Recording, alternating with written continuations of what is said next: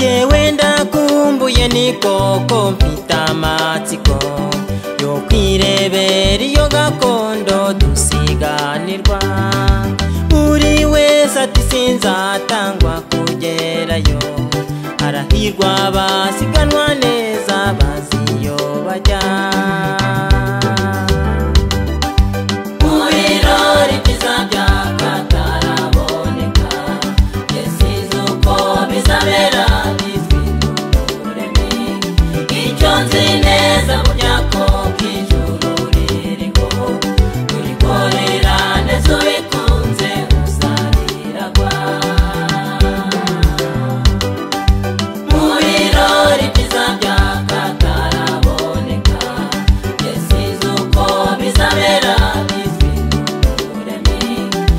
icyo nzi neza burya ko bw'ijuru ririho urikorera ndetse ubikunze uzariragwa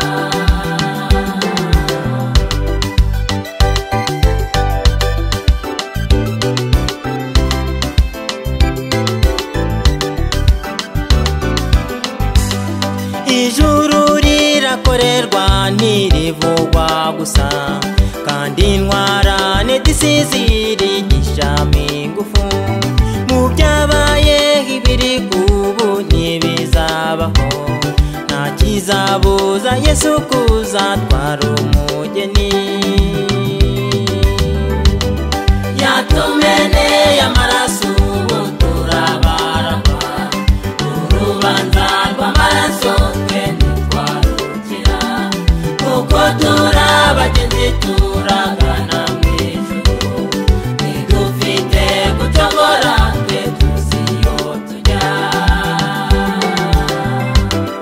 yatumeneye amaraso ubu turabaragwa urubanza rw'amaraso twe ntitwarukira kuko turi abagenzi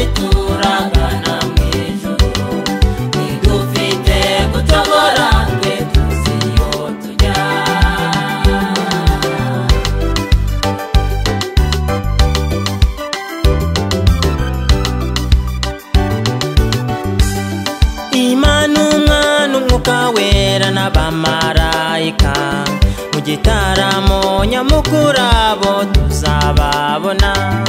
Utazajyayo n'igihombo ndakurahiye